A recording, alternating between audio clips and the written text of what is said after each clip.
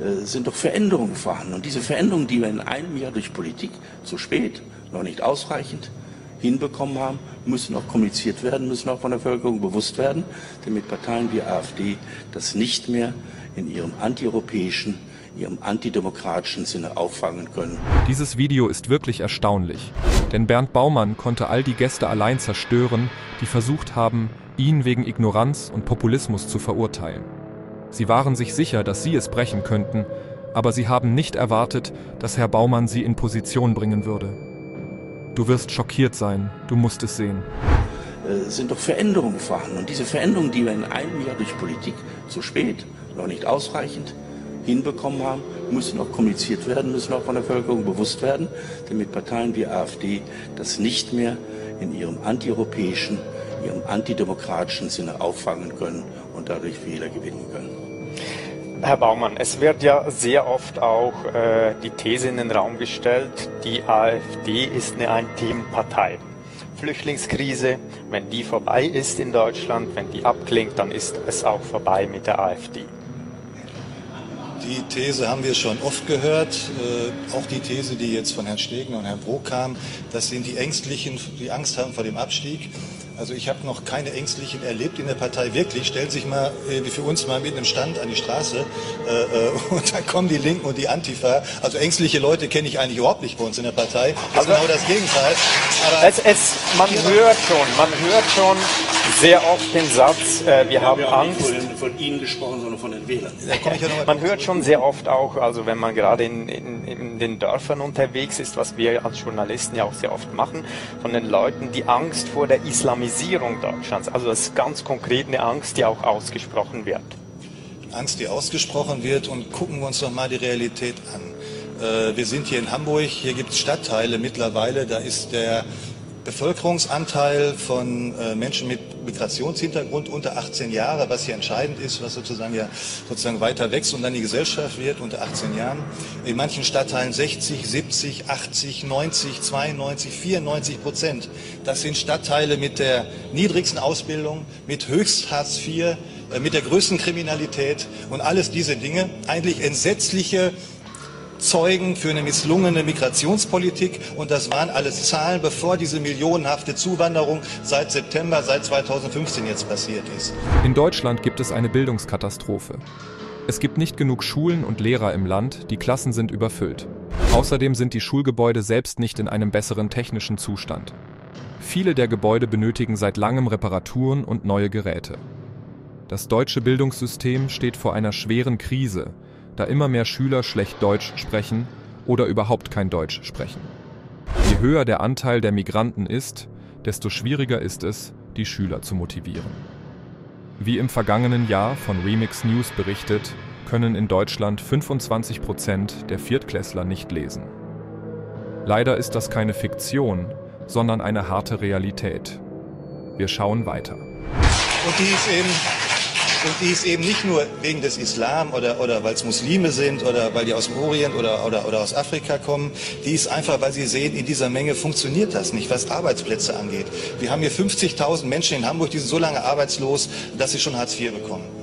Davon sind 60 Prozent mit Migrationshintergrund. Das sind Menschen, die in diesen Stadtteilen wohnen, die schon hier aufgewachsen sind, die sprechen schon Deutsch, die sind hier schon sozialisiert und trotzdem gelingt das nicht. Da kann man in gewisser Weise Angst haben, auch wenn man sieht, dass in allen islamischen Ländern der Welt nirgends es Demokratie, Rechtsstaat oder derartiges gibt und sieht, wie die Politik in England, in Frankreich, in den USA verzweifelt vor den Banlieues und den entsetzlichen Tatorten zwischen Detroit und Los Angeles, die wir allabendlich sehen. Auch wenn ich in Sachsen sitze, wähle ich die vernünftige Partei Partei, weil ich nicht will, dass es so wird, es dort schon ist, Herr Stegner. Deswegen wählen wir das.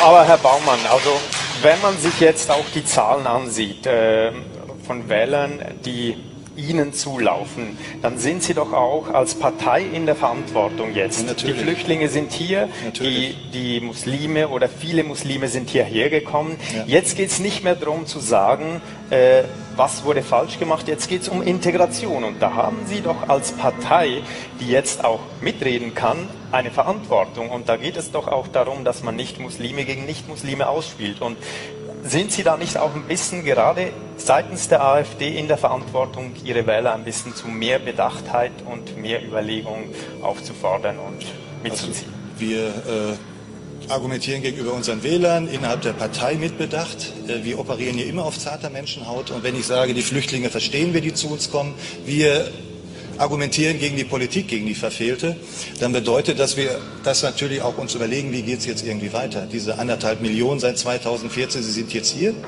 Aber wir sehen, jüngst kam die, äh, die Nachricht, dass 550.000 äh, von denen eigentlich längst äh, Abschiebebescheide haben, die irgendwie nicht ausgeführt werden und so. Die wirtschaftliche Schwäche Deutschlands hat sich auf den Arbeitsmarkt ausgewirkt.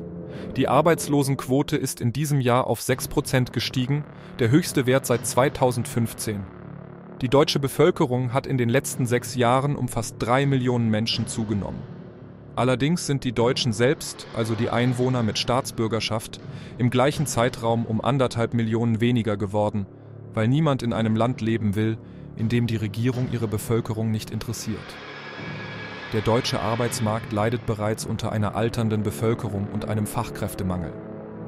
Das Land braucht jedes Jahr neue Arbeitskräfte, um das aktuelle Wirtschaftswachstum zu unterstützen. Aber diejenigen, die ins Land kommen, leben von Leistungen und wollen nicht arbeiten. Und qualifizierte Mitarbeiter verlassen das Land. Was Ralf Stegner als nächstes sagen wird, ist der eigentliche Wahnsinn. Herr Stegner. Ich wollte mich nochmal dagegen verwahren, weil Sie gesagt haben, herrsche hier doch ein gewisser Konsens, man müsse doch zusammenraufen.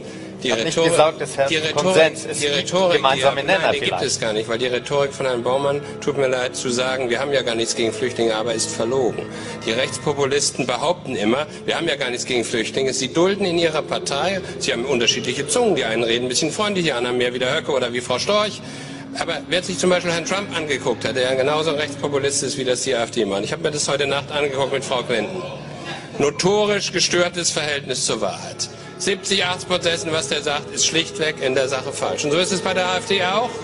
So ist bei der AfD auch. Sie bedient sozusagen, Wissenschaftler nennen das Hundepfeifenprinzip sozusagen. Der eine hetzt gegen Ausländer, der andere sagt, es war ja gar nicht so gemeint. Das ist das Prinzip. Die treten so oder so, versuchen möglichst die anderen noch zu provozieren, damit man im Mittelpunkt steht. Ich habe gelesen, in der Ankündigung dieser Veranstaltung hat es Herr Baumann beklagt, man würde häufig nicht genug wahrgenommen und äh, deswegen ist es Deswegen sage ich auch, interessiert mich die Partei an sich gar nicht, sondern der Punkt ist, dass wir uns auseinanderzusetzen haben, dass wir hier nicht zulassen, dass die Gesellschaft gespalten wird. Meine Partei ist für uns seit 153 Jahren für sozialen Zusammenhalt. Das ist unser Thema. Das ist unser Thema. Und mich interessiert es auch nicht, sozusagen, wie andere, die den Rechtspopulisten hinterherlaufen, darüber denken. Das ist mir völlig schnurz. Ich sage nur, dass da einer so formuliert, als sei er sozusagen ein Biedermann und man habe gar nichts gegen Ausländer. Das ist eben nachweislich falsch, solange Sie solche Leute in Ihrer Partei dulden. In allen Parlamenten, wo die AfD auftritt, ist das Ausländerfeindlichkeit, haben wir Ressentiments, haben wir Intoleranz, haben wir Antisemitismus, haben wir all diese Dinge, die in demokratischen Parteien nichts verloren haben und die übrigens kein einziges Problem lösen in Deutschland, kein einziges. Auch die Aussage, ihr seid jetzt bedroht, weil die Flüchtlinge kommen. Nicht ein einziger Mensch bekommt irgendwas weniger, weil ein Flüchtling kommt. Wir müssen Politik, wir müssen Politik für sozialen Zusammenhalt machen. Nun, natürlich, wenn man nichts zu sagen hat, fängt man an anzugreifen und Unsinn zu erfinden. Die AfD will nur, dass die illegale Migration beendet wird. Sie sind nicht gegen Migranten, die im Land arbeiten oder studieren werden. Die illegale Migration hat dazu geführt, dass Migranten von Leistungen leben, dass sie sich nicht in die deutsche Gesellschaft integrieren wollen und dass einige von ihnen Verbrechen begehen. Die Partei will diese Probleme lösen. Ist das nicht eine angemessene Politik? Schreibe deine Meinung bis zum nächsten Video in die Kommentare.